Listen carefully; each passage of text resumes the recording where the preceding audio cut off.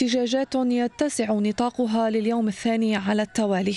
مدن وقرى جديدة تنضم إلى احتجاجات محافظة الأهواز الإيرانية ضد سياسات النظام التي تسببت بشح المياه أبرزها الفلاحية والخفاجية والحميدية والحويزة وبعض شوارع الأهواز العاصمة.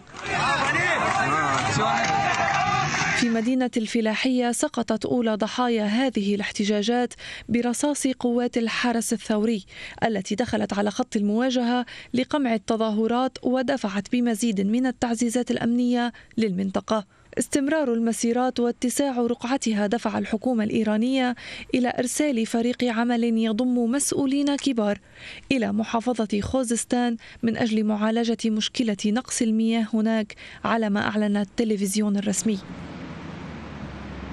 إقليم الأهواز الغني بالنفط والذي تجري فيه خمس أنهار كبرى يعاني من موجة جفاف هي الأسوأ منذ عقود بسبب عشرات السدود التي تبنيها طهران على روافد الأنهار وتقوم بتحويل مياهها إلى الأقاليم المركزية الإيرانية.